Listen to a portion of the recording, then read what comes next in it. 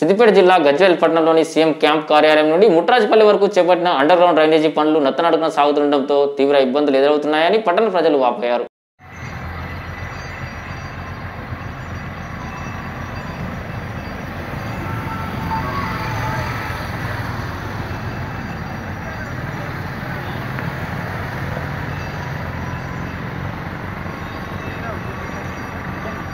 Let's.